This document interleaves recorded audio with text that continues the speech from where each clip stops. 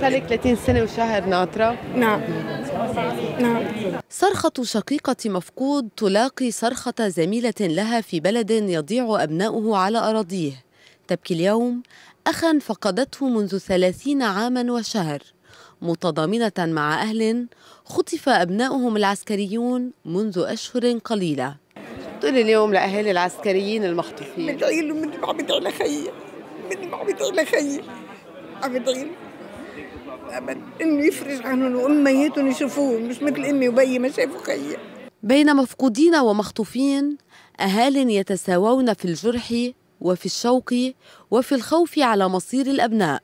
نتمنى إنه فعلا يكون الحل سريع لقضيتهم ويلاقوا أهاليهم وما يصيروا مثلنا ولا ينضموا لنا ولا يجوا على الخيام تبعولنا يمكن هالتحرك اللي بالشارع لازم يتضبضب أكثر لأنه للأسف عم يتناتشوا السياسيين.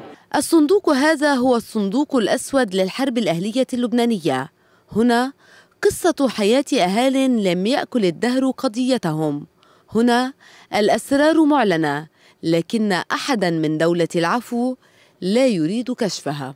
ما فيه حقيقة بس فيه إذا أحسن استعماله في يمشي للحقيقة. الأهالي اللي مقدمين استماراتهم قايلين إنه هاي الميليشيا أو هيدا الحزب أو هيدا بس عمليا تقول تم تحقيق رسمي وحقيقي وعلمي لم يتم ليش بدي يكذب. أهل المفقودين استوطنوا الخيم حين تقطعت بهم السبل. لم يشعلوا إطارا بل حملوا قضيتهم شعلة إلى كل العالم. اليوم سلموا أسرارهم للمنظمة الدولية وعلى قاعدة اسأل من كان بها خبيرا تحية ونصيحة لأهالي العسكريين المخطوفين. In the case of the abducted soldiers is a bit different. You know, it's the government who has to deal with this, uh, with uh, the, the, the, group who detain these, these soldiers. We are always available to play a role if all the parties involved agree with this. We believe that today there is a need to negotiate, and as ICIC, we don't negotiate. When there is an agreement on the release, we are obviously available to allow this release to, uh, to happen.